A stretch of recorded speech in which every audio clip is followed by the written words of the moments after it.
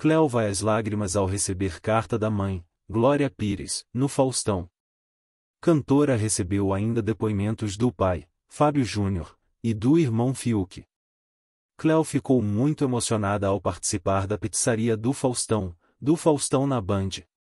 No programa reexibido nesta segunda-feira, 16, a cantora recebeu uma série de depoimentos de familiares, entre eles uma carta de sua mãe, Glória Pires.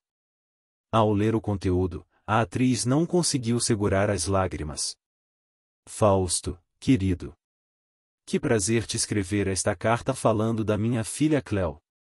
Antes de mais nada, parabéns pelo seu novo programa. Filha, meu patinho bonito.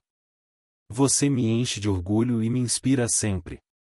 Parabéns pela forma como usa seus talentos, abrindo caminhos e fortalecendo seu lugar no mundo, pela sua trajetória e pelo seu novo momento.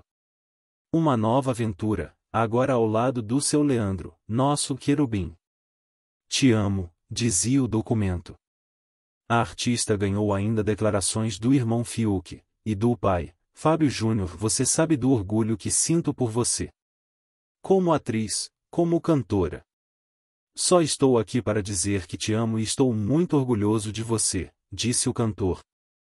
Em outro momento emocionante, ela ouviu uma mensagem do marido, Leandro Druca, que narrou uma viagem que os dois fizeram para Costa Rica.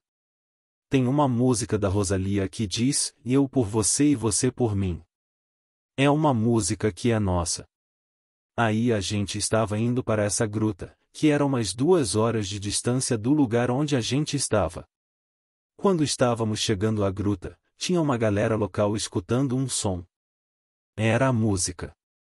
Foi uma coisa super marcante, contou ele.